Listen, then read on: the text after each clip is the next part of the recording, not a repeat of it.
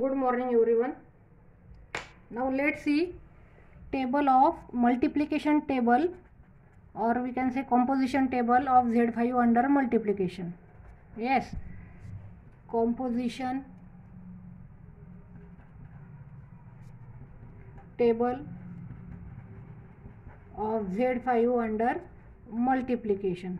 In previous video we have seen composition table of z5 under addition. Now let's see composition table of z5 under multiplication. Yes so we know z5 is a group. Yes z5 is a group. And having element 0 1 2 3 and 4 and here 5 is equivalent to 0 we have seen. Yes. So make table under multiplication of z5 so here is multiplication sign and elements are 0 1 2 3 4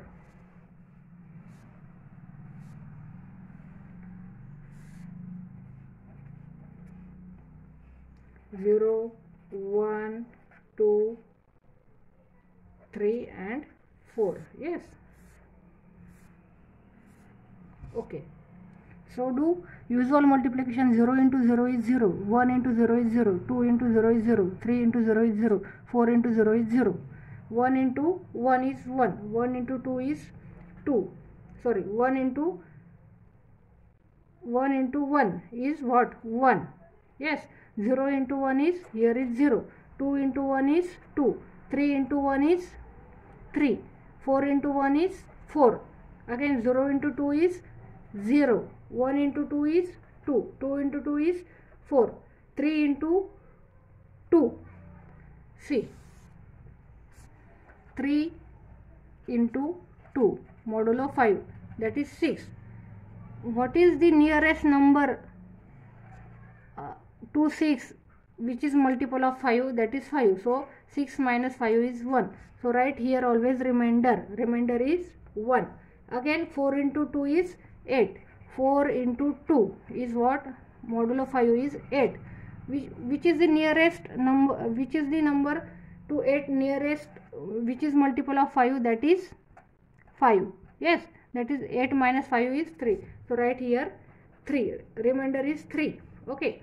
1 into 3 is 3 3 into 2 is 6 so remainder is 1 3 into 3 3 into 3 is 9 which is the number which nearest to 9 of multiple 5 that is 5 again. So 9 minus 5 is 4 so right here remainder 4 yes sorry 3 into 2 is 6 so right here remainder 1 and here 3, 3 into 3 9 right here remainder what? 4 yes.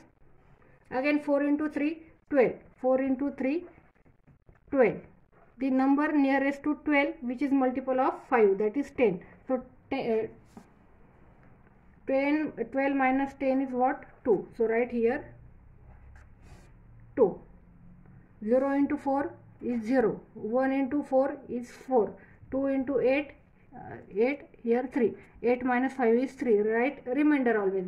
Means we are obtaining remainder